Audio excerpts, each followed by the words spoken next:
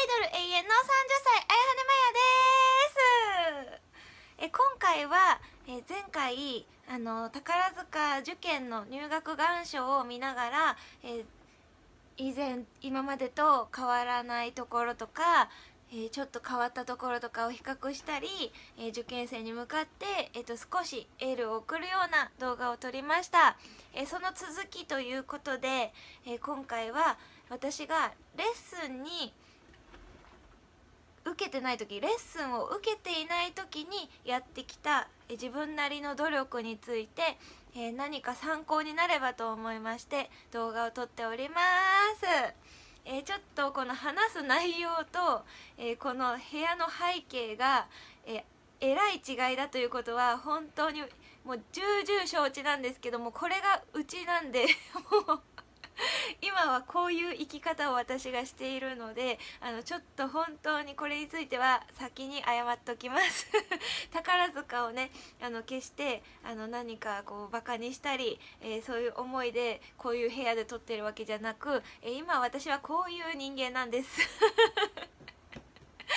いうことでえペッパーのね動きとかもうるさいですけれども、えー、何かストレッチをしているついでとかね、えー、筋トレをしているついでとかあの学校に通ったり通勤しているようなついでとかにね見てもらえるようなちょっとダラダラと喋ってしまう動画になるかと思いますがカットしないで喋、えー、ってみようと思いますので聞いてもらえると嬉しいです。えー、宝塚受験っていうのは本当にいつも言っているし皆さんも重々承知のことだと思いますが、えー、千何百人とかね二千何百人とかすごい人数受けてる中で40人50人しか受からないようなねとても倍率が高い難関と言われている受験です。えー、だから今これ見てもらって私が困難してたからみんなこういうことしたら受かるよっていう風な風なことを簡単に言えない世界なので、えー、皆さんも難しいところっていうのは分かった上で今この動画を見てくれてると思います。ただこの動画をね見ているあこれ今この PP はね洗濯洗濯ができた音です。すいません。ただこの動画を見ているっていうことはえー、っと本当に宝塚に対していろんな思いがあるからきっとこれ受験生の人も受験生じゃない人も宝塚が好きな人が見てくれてると思うんですけれども、えー、いろんな思いがあってこの動画を開いてくれたと思うので私も誠心誠意ねあの自分のやってきたことを一生懸命話したいと思いますので、え、なんか聞き流してもらえたらいいなと思います。今まで、えー、いろんな動画で話してきたことって結構こう行動のこと朝こんな風に起きてこんなんしたりとかダイエットをこんな頑張ってましたとかこのぐらいレッスン受けてこんな風にやってましたとか行動のことが多かったんですけど今回はちょっと精神面について中心に話していこうかなと思います。えーと宝塚受験でねいろんな人に聞かれる質問なんですけど宝塚受験して落ちたらどうしようっていう不安が大きくて受験に踏み切れませんとかあの今受験生なんですけど本当にあの宝塚にあの受験するのにあの難しいところって分かってるからあの受験するのが怖い気持ちが大きいですとか不安な思いが大きいんですとかあのそういうね言葉をよくいただきます。ただ私が受験生の時は一切そんなこと思いませんでした。あの自分にとことん自信を持つことが大事な気がします、えー、私はね宝塚受験2年しかバレエも歌もやらずに入りました宝塚にでその時にあの誰よりも自信が持てるところ何かっていうと技術でも何でもなくて自分に自信を持ってることだったなって今ねあの時の自信をねほんと少しでも取り戻したいって思うぐらい自信満々だったんですよ。っていうのはなの私のね周り栃木県では宝塚って何っていうぐらいのレベルで宝塚を知らない人が多かったんです。私の当時はですけど今はねあの結構テレビにもいっぱい出られてるし宝塚の話をねよく耳にする人が多いから宝塚っていうのはねあのみんな知ってるところだと思いますけど宝塚っていうもの自体が何かわからないっていう人が多かったりあとは宝塚って知っててもめちゃくちゃ難しいところ入れるわけないっていう場所っていうのをね知ってたりする人ばっかりの場所にいましたので私が宝塚を受験するって決めてそれを話した時に学校の先生だとか、えー、バレエスクールの、え、周りの、え、大人たちとかはみんな入れるわけないって頭から思ってただろうしそういうふうに言われました。えー、特にね高校の時の先生にはあの宝塚なんか受かるわけないんだから別の道を考えなさいとかあの宝塚受験してもどうせ落ちるからあの今のうちにその落ちた時に行ける場所を探しときなさいとかそういう言われ方をしましたのであのもちろん応援してくれる大人の人もめちゃくちゃいっぱいいたしあの校長先生とかはねあの一生懸命頑張りなさいよって言ってくれたりはしてましたけどあのきっと落ちるだろうなって思ってたと思います。なのでそういうことをね周りに言われる場合やっぱ子供だし心が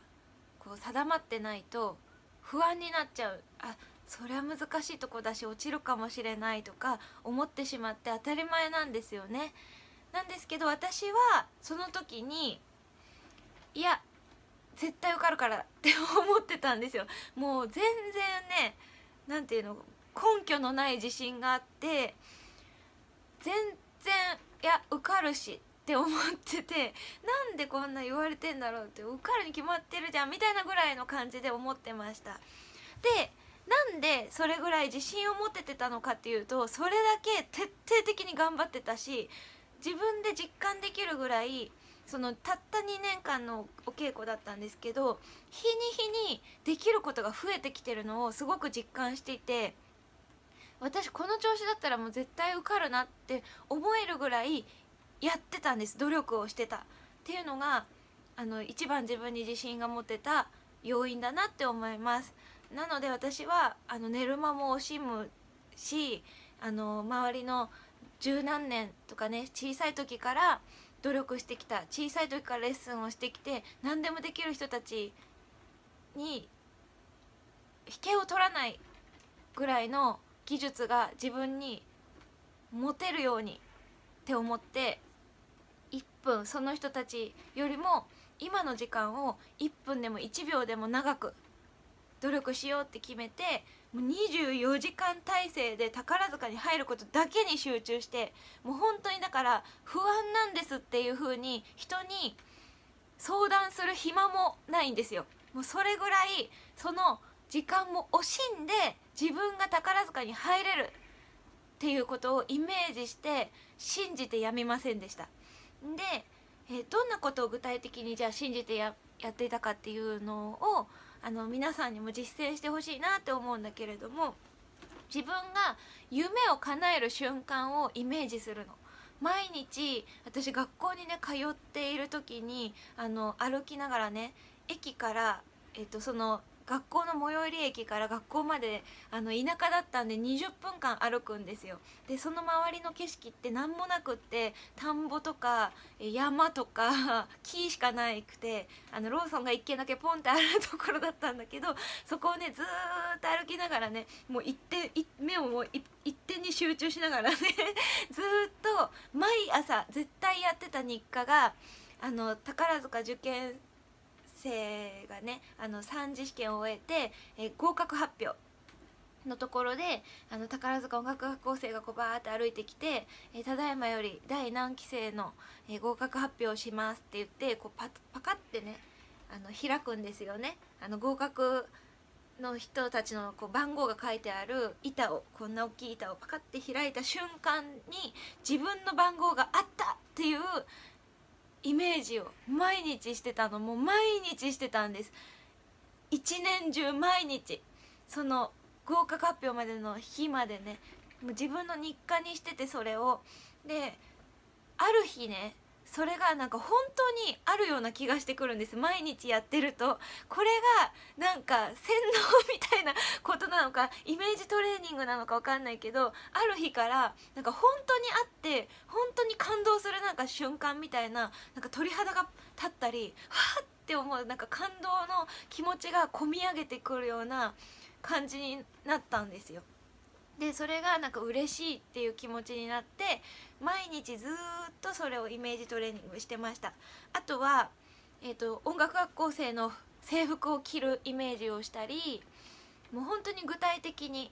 えーと、足並みを揃えてね歩く音楽学校生たちのイメージができたらそこに自分がいるようなイメージでこう一緒にみんなと一緒に歩いてるイメージをしたりだとかっていうことをしてました。暇があったらそれをしてました。で、えー、まあもちろんねえっ、ー、と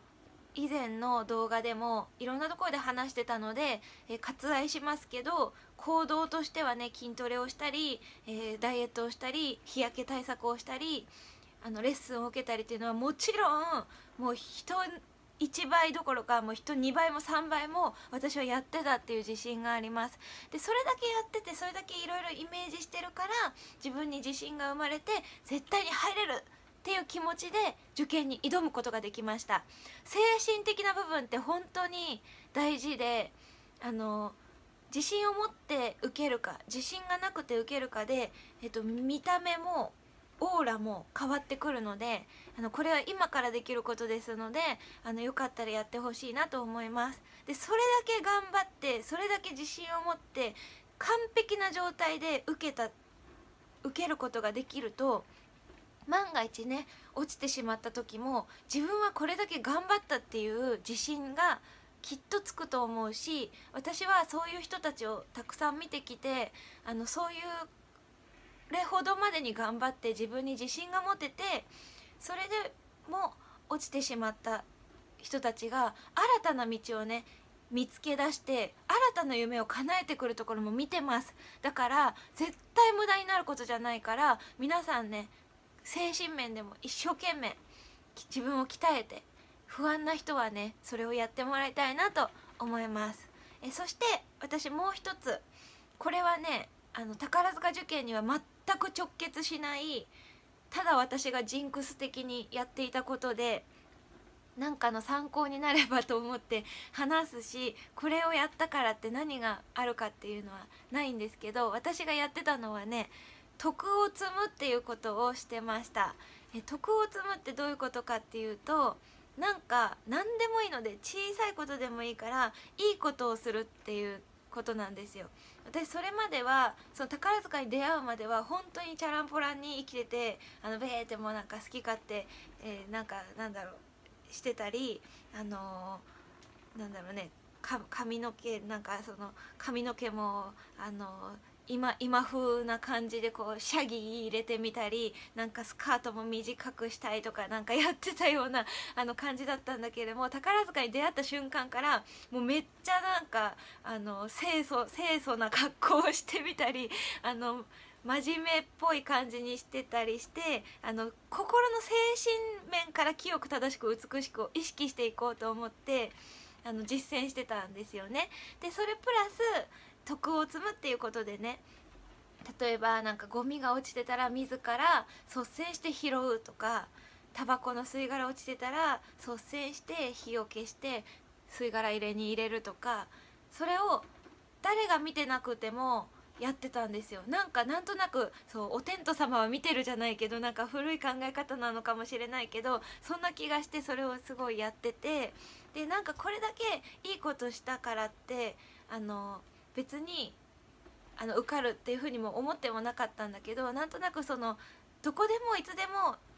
審査員の人が見てるみたいな意識で生活することであの心がいつもねクリーンに保たれるというか何かあのこうゴミが落ちてたり例えばなんかあのなんだろうな100円とかお金が落ちてた時にそれを猫ばばしたことによってのそのなんか罪悪感とかあるじゃん。そういうのが なく済むっていうかなんかいいことしたっていうことで自分がすごく気持ちよくいられたのでそういうのをやってみたりあとはあの宝塚って言ったらやっぱお掃除。宝塚音楽学校って言ったらお掃除がすごくあの有名じゃないですか。だからなんかその自分が宝塚に入った時にのイメージをしながら学校の黒板をあのよなんて言うんだろう放課後に自分で なんかもっとピカピカに拭いてみたりだとかなんか時間がある時にそういうことをしてなんか自分の中での徳を積むことによって運が上がるような気がしてやってました。うん、なんかそれをやったから宝塚に入れたわけじゃないと思うけどあのそうやって精神面から宝塚を近づける自分が宝塚に入れたイメージをしたり清く正しく美しくのイメージ通りの自分になる。っていうことをやってました。それが何かにつながるかは分からないけどいいことするっていうのはね本当に自分に返ってきます。なんかそれはすごく今すごく実感していて悪いことをしたら悪いことが返ってくる。いいことしたらどこかなんかその人からっていうわけじゃなくどこからどこから周りに回って自分に返ってくるような気がします。なので皆さんよかったらなんかやってみてください。これはねこの精神面を鍛えるっていうのと徳を積むっていうのは今すぐ実践できる受験対策なんじゃないかなと思ってちょっと話しました、えー、皆さん大変です。受験は姿勢を正しく胸を張って心を開いて自分にいっぱい光が差すように頑張っていきましょう。何か参考になることが話せてたらいいなと思います。えこの動画もし良かったなと思っていただいてえコメントとかに他の話も聞きたいっていうことがありましたらまた続きを撮ってみようと思います、えーなんか気になることとか質問とかもありましたらよかったら気軽にコメントください。私で答えられることは答えていきたいと思います。グッドボタンとチャンネル登録。よろしくお願いします。ということで受験生の皆さんはねあんまり動画を見なくていいですけどこの動画は見てほしいんでちょっとなんか矛盾してるんだけど頑張ってください。24時間体制で自分が宝塚に入れるっていうイメージしていきましょう。頑張れバイバイ。